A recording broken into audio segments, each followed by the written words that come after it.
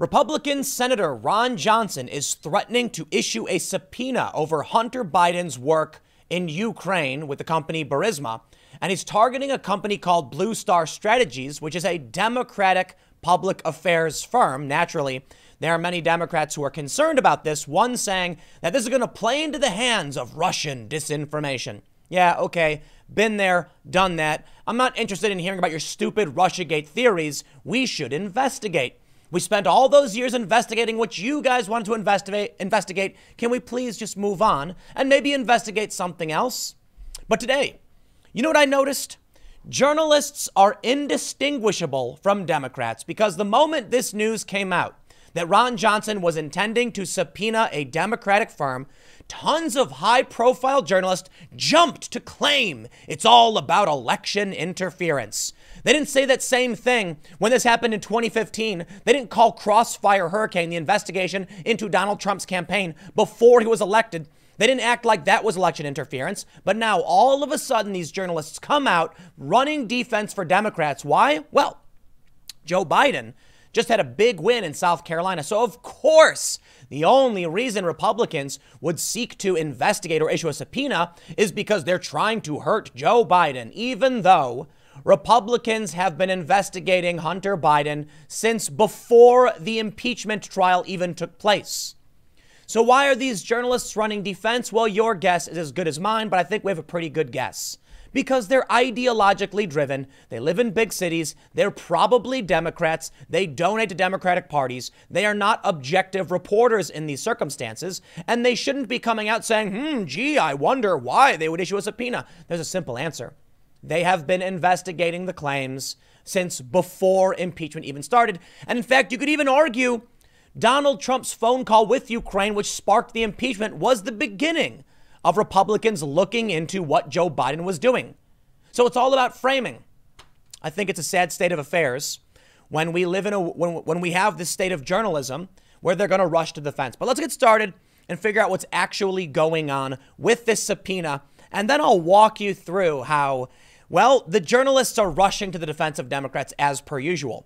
Before we get started, head over to timcast.com slash donate if you'd like to support my work. There are several ways you can give, but the best thing you can do, share this video. Perhaps by doing so, we will shatter, shatter some echo chambers. I'm not confident, but hey, it will absolutely help my channel. YouTube does whatever it can to suppress content like mine. No joke, the data shows it. They're funneling everybody who watches my stuff over to Fox News or, in some circumstances, MSNBC. Many of you also haven't subscribed, so if you do like this content, make sure you hit the subscribe button, hit the notification bell so that YouTube will actually notify you.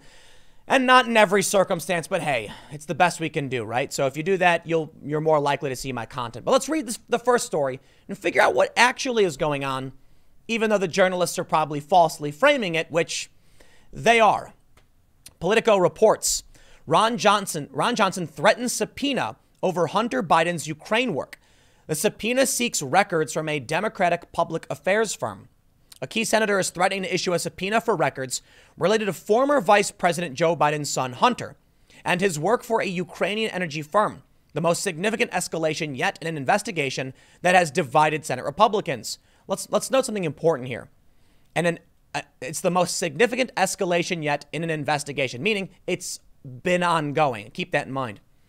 In a letter obtained by Politico, Senate Homeland Security and Governmental Affairs Committee Chairman Ron Johnson told members of the panel that he will soon schedule a business meeting to vote on a subpoena for the documents, which are purportedly related to Hunter Biden's role on the board of the Ukrainian firm Burisma. The subpoena seeks records from Blue Star, a Democratic public affairs firm. In his letter to committee members, Johnson cited government documents indicating that the firm, quote, sought to leverage Hunter Biden's role as a board member of Burisma to gain access to and potentially influence matters at the State Department.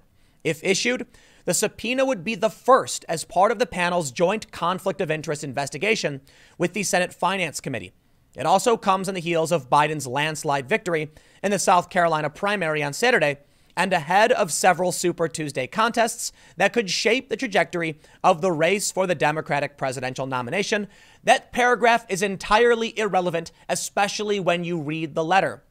they're trying to make it seem. Now, I, I want to be careful. I don't want to accuse Politico because I'll show you the actual interference.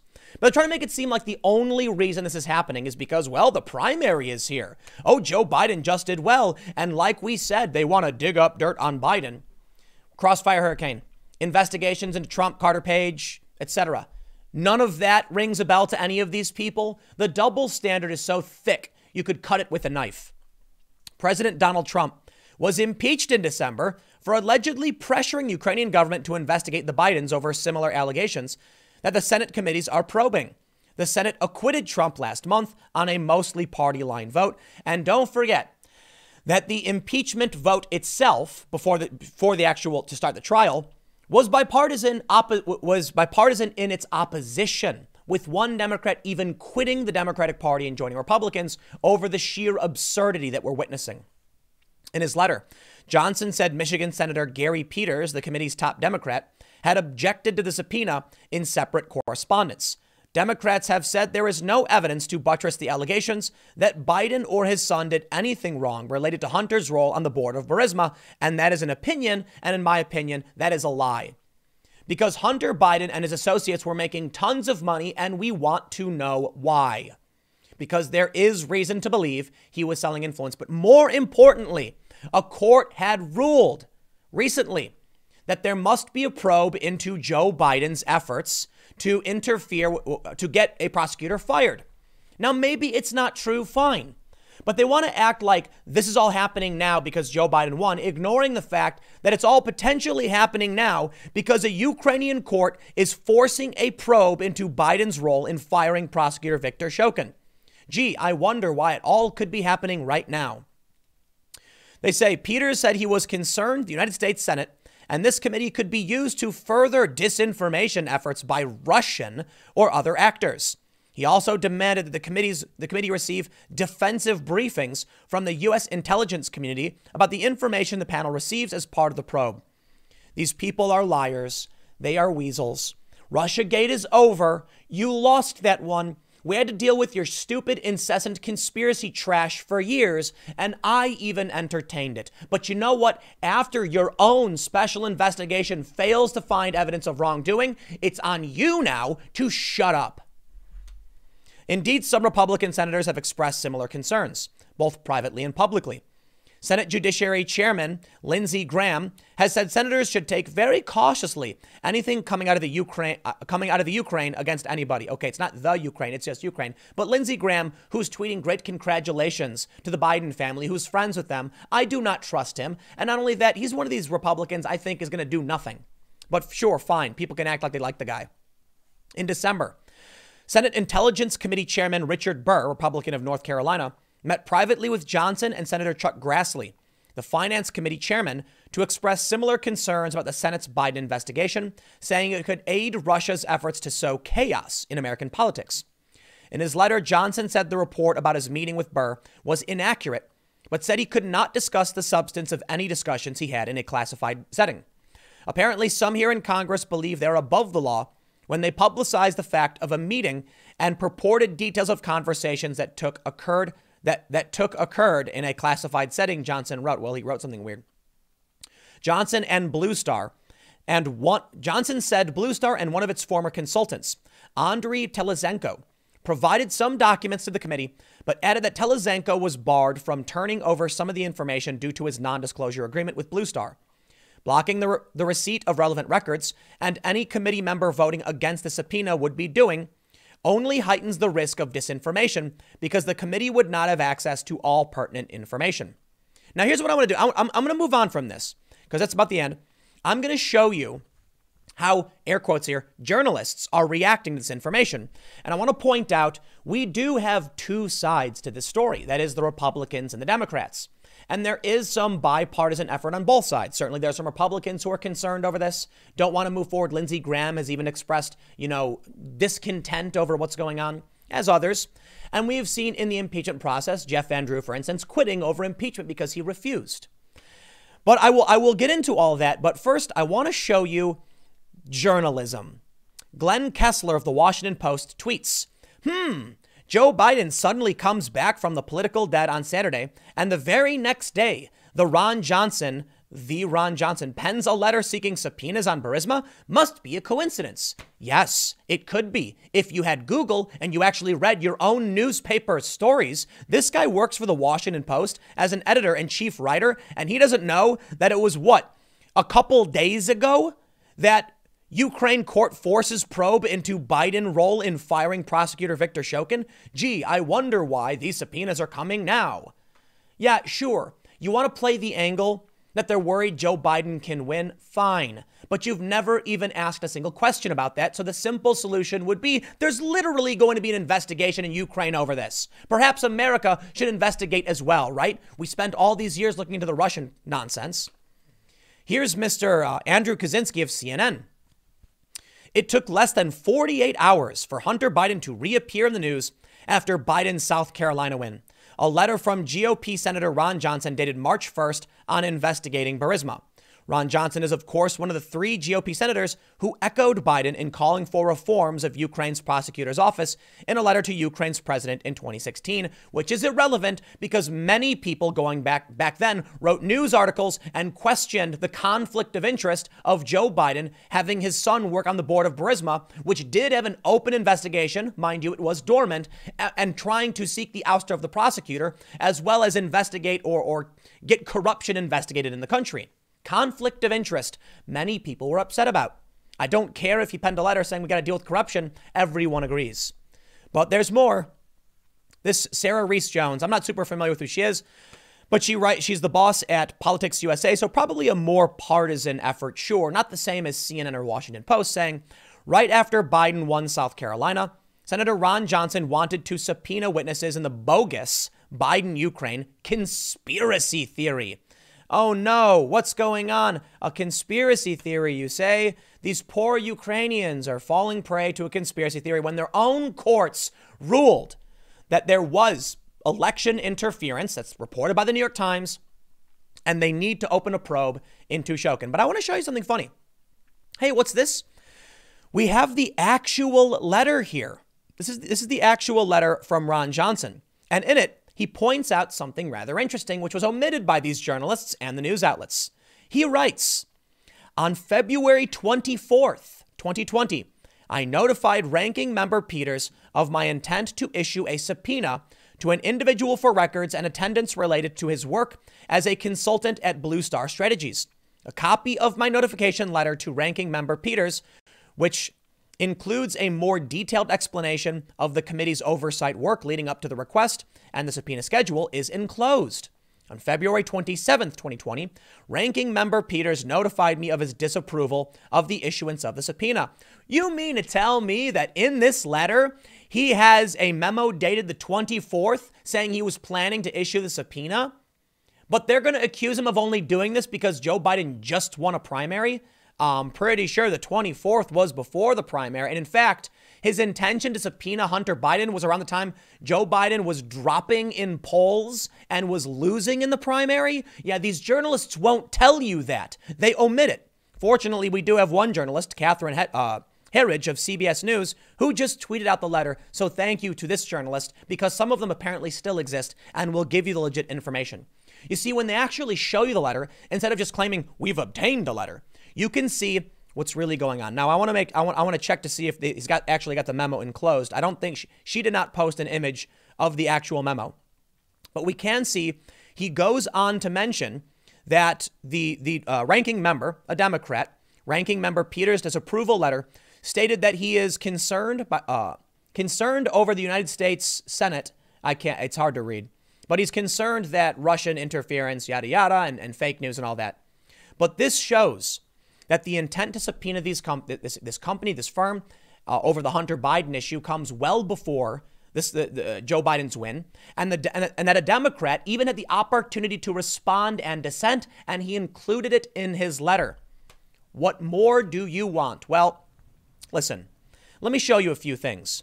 It is not coming just after Joe Biden's win. Republicans in Senate press on with investigation into Hunter Biden. When was this? February 6th. Spare me. They're lying. The Treasury Department complied with a request from Senate Republicans and documents related to Hunter Biden's ties to a Ukrainian energy company, according to a Senate Democrat.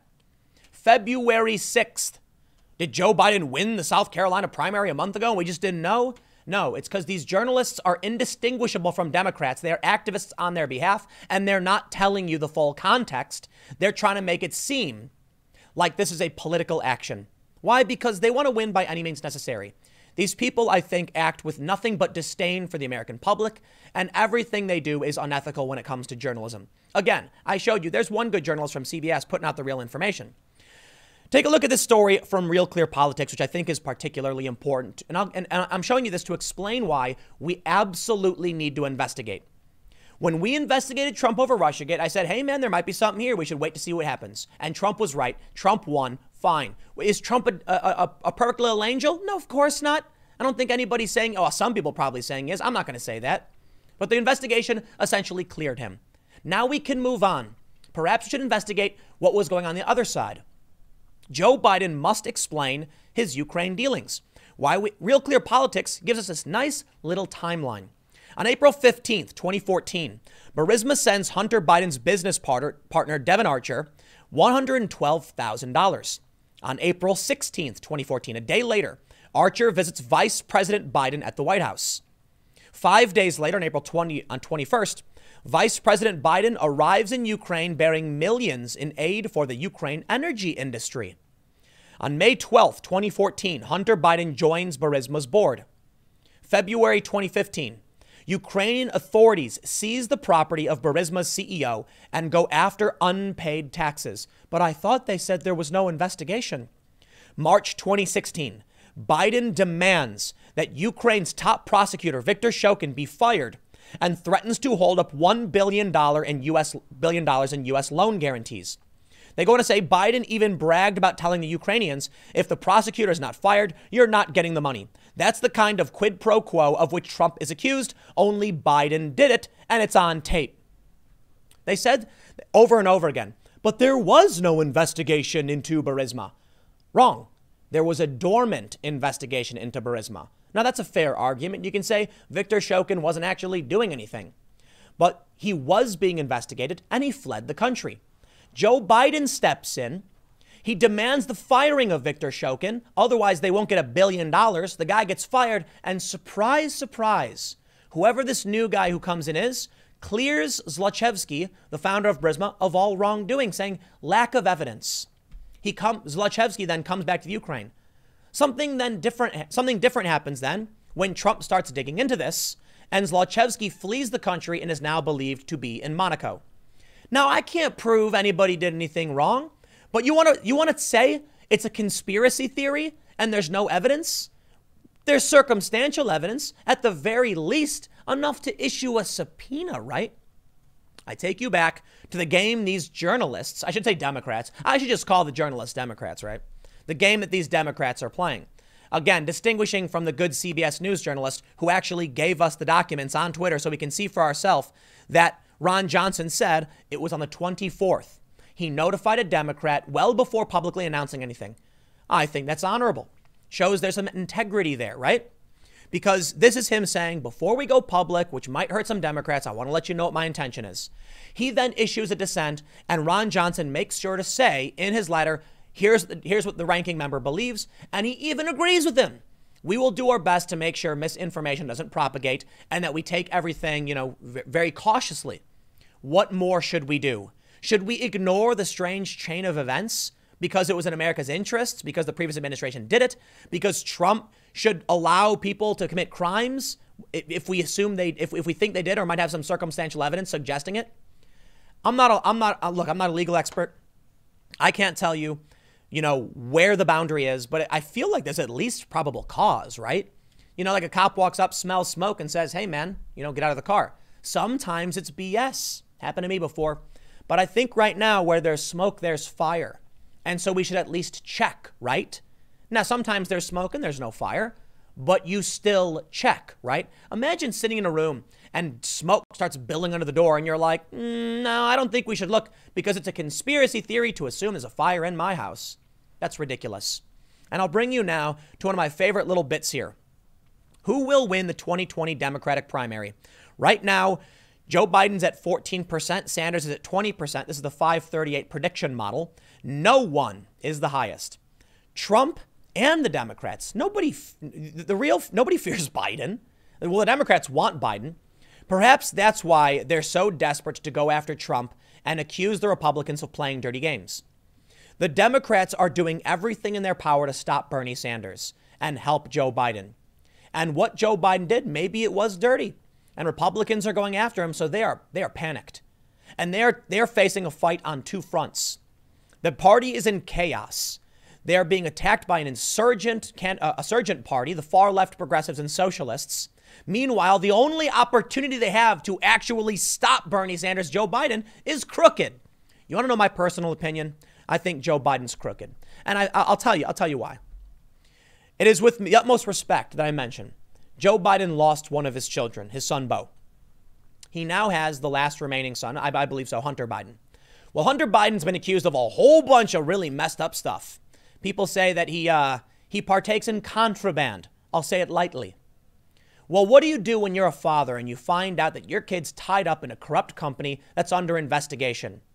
I think Hunter Biden would be willing to do whatever it takes to protect his family. And you know what? To an extent, I can respect that. I can. A man who wants to do right by his family by any means necessary. To an extent, there's respect there. But guess what? when you take corrupt actions to benefit yourself, your friends, and your family, instead of holding those around you accountable to our society, well, then you are responsible for that corruption. It is my personal opinion that something happened here where Joe Biden was trying to protect his kid. I'm not saying it's true. I'm not saying I know for a fact it's true. I'm not saying there's any evidence it's true. I'm saying there is some circumstantial evidence of potential wrongdoing with Hunter Biden and Burisma. There is very, very light circumstantial evidence over Joe Biden's potential interference, but not very much. You know what that means we should do? Well, we see smoke. We don't know if there's a fire, but we can issue some subpoenas, right? The very least, what I can tell you, because I really want to make sure you understand this, is that the journalists coming out right now, not all of them, but a lot of them, are lying to you to falsely frame what is going on so that instead of looking into corruption, in our politics. You look at Donald Trump and the Republicans and accuse them of politically motivated investigations. The strange thing being, that's literally what they were doing, wasn't it? Well, the one thing I can leave you with is at least some good news because with all of their efforts to smear Trump, they've only helped him. Trump and the GOP raised $86 million in February. And you know what? Good for him. The Democrats deserve the uphill battle they're facing. But I also think something else. Many people speculate the Democrats are willing to sabotage their own party to stop Bernie Sanders. They'd absolutely prefer Donald Trump winning four more years than Bernie Sanders taking over the Democratic Party and becoming the most powerful member of it, the leader, as the president. Some people think they don't care that everything they do actually helps Trump. In fact, it's a it's an accidental net positive. While they're going after Bernie, they're accidentally rallying Trump's base, which still to them is like, well, you know what? as long as he wins and Bernie Sanders doesn't. I'm not a big fan of Bernie's policies. I think he's a hypocrite. I think he flip flopped. I think a lot of people are naive and haven't looked into core issues like 2A and immigration, in which Bernie Sanders has been a big flip flopper. But I can tell you the Democratic Party is, is, is tearing itself apart to stop Donald Trump. So they will smear Trump for sure. But I don't think they want Bernie to win. So Trump raises $86 million. I'll tell you what, if you're a Trump supporter, expect to win in November? Well, I'll tell you, I, will add to that. I really, really do think Trump's going to win. But I guess I should say hubris will be your downfall, as I normally do. I'll leave it there. I look forward to seeing what happens, and I hope they do issue a subpoena because it's time for Republicans to start investigating the other direction. Not because I'm a Republican or care about their policy, because I'm sick of the one sided scandal nonsense, and we really should know what's happening. I will see you all in the next segment at 6 p.m. youtube.com slash timcastnews. Thanks for hanging out. I will see you all next time.